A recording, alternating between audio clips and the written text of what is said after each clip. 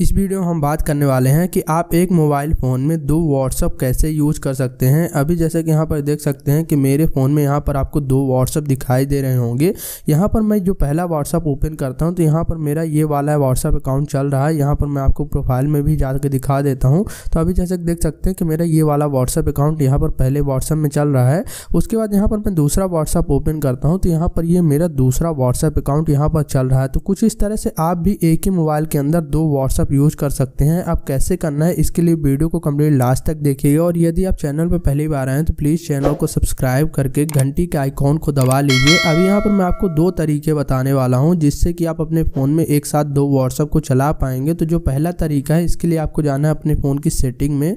Setting में आ जाने के बाद यहाँ पर आपको थोड़ा सा नीचे स्क्रोल करके आना है। यहाँ पर आपको एक ऑप्शन मिलेगा ऐप्स का। हो सकता है कि आपके फ़ोन में कोई दूसरी सेटिंग हो तो वहाँ पर आपको एप्लीकेशन नाम से भी ऑप्शन मिल जाएगा। तो आपको इस पर चले जाना है।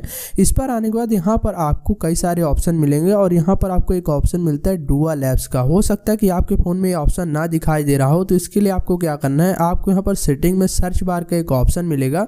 यहाँ पर आपको सर्च करना है ऐप क्लोनर तो आपको यहाँ पर ऐप क्लोनर नाम से एक ऑप्शन मिल जाएगा। और यदि इस नाम से ऑप्शन नहीं मिलता तो आपको सिंपली सर्च करना है डुअल ऐप्स यहाँ पर आपको डुअल ऐप्स नाम से भी ऑप्शन मिल सकता है, क्योंकि इसके अलग अलग नेम्स होते हैं अलग अलग फोन्स में। तो अभी यहाँ पर आपको ऐप क्लोनर या फिर डुअल ऐप्स के ऑप्शन पे चले जाना है। यहाँ पर आने के बाद आपको यहाँ पर व्हाट्सअप का एप्लीकेशन दिखाई देगा, जैसे कि यहाँ पर ऊपर ही मुझे दिखाई दे रहा है, आपको इस पर क्लिक करना है। उसके बाद यहाँ पर आपको डुअल ऐप्स या फिर ऐप क्लोनिंग नाम से ऑप्शन मिल जाएगा तो आपको इसे यहाँ से ऑन कर देना है। तो जो आपका दूसरा व्हाट्सअप है, वो यहाँ पर क्रिएट हो जाएगा। अभी जैसे कि यहाँ पर मैं आपको दिखा देता हूँ तो अभी यहाँ पर जैसे देख सकते हैं कि मेरा जो दूसरा व्हाट्सअप है, वो क्रिएट हो चुका है। अब यहाँ पर आप इसे ओपन करेंगे तो यहाँ पर आपको एक नया व्हाट्सअप अकाउंट क्रिएट करने का ऑप्शन मिल जाएगा। इस पर आप नया नंबर रजिस्टर्ड करके अपना दूसरा व्हाट्सएप अकाउंट चला सकते हैं। अब यहाँ पर मैं आपको दूसरा तरीका शेयर करता हूँ दो व्हाट्सअप को चलाने का।